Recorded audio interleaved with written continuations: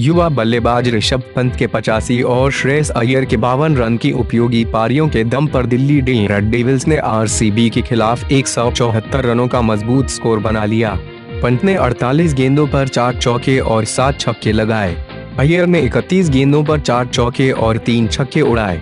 राहुल तेवतिया ने नौ गेंदों पर तीन चौकों की मदद से नाबाद तेरह रन बनाए। अय्यर, इकतीस गेंदों पर बावन रन और पंत 48 गेंदों पर पचासी रन। ने तीसरे विकेट के लिए 75 रन की साझेदारी की।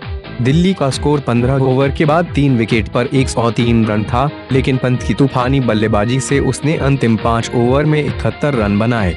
पंत ने राहुल देवतिया नाबाद तेरह के साथ चौथे विकेट के लिए पैंसठ रन जोड़े। पंत ने अपनी पारी में छह चौके और सात छक्के लगाए। आरसीबी की तरफ़ से युजवेंद्र चहल सबसे सफल गेंदबाज रहे। उन्होंने 22 रन देकर तीन विकेट लिए। डेविल्स की शुरुआत बेहद खराब रही। दोनों ओपनिंग बल्लेबाज कप्तान गौतम गंभीर 10 गेंदों पर तीन रन, और जेसन रॉय 16 गेंदों पर पाँच रन, जूझते नज़र आए।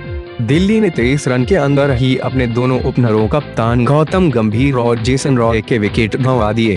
आलम यह था कि पावर प्ले चल रहा था और गेंद ने पहली बार सीमा रेखा के दर्शन पाँचवें ओवर में किए। पारी की सत्ताईसवें गेंद पर यह चौका अय्यर ने लगाया।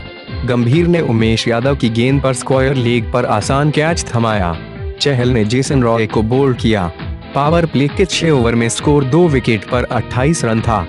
अय्यर ने नौवे ओवर की आखिरी गेंद पर उमेश पर पारी का पहला छक्का लगाया, जिससे स्कोर 50 रन के पार पहुँचा। अय्यर ने चौदहवें ओवर के शुरू में वॉशिंगटन सुंदर पर लगातार दो छक्के जड़कर 29 गेंदों पर अपना अर्धशतक पूरा किया। उन्होंने हालाँकि इसी ओवर में शॉर्ट थर्ड मैन पर कैच थमा दिया। अय्यर ने अपनी पारी में चार चौके और तीन छक्के लगाए।